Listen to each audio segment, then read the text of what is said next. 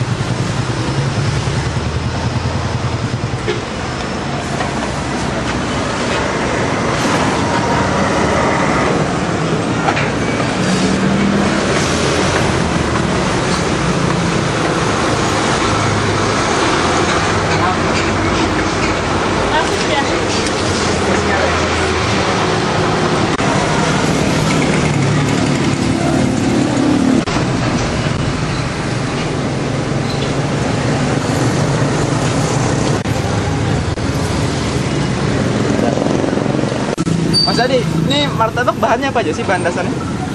Bahannya dari tepung segitiga. Tepung terigu. Ya. ah terus? Terus gula. Ah. Terus soda pengembang. Hah? soda susu. Gula juga. Jadi